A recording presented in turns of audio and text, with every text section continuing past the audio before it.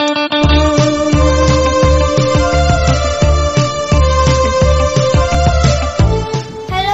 today I'm gonna tell you the culture of Pakistan.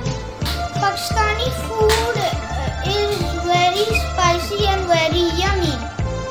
Rooh is one of the famous drink in Pakistan. Pakistani dresses are very colorful.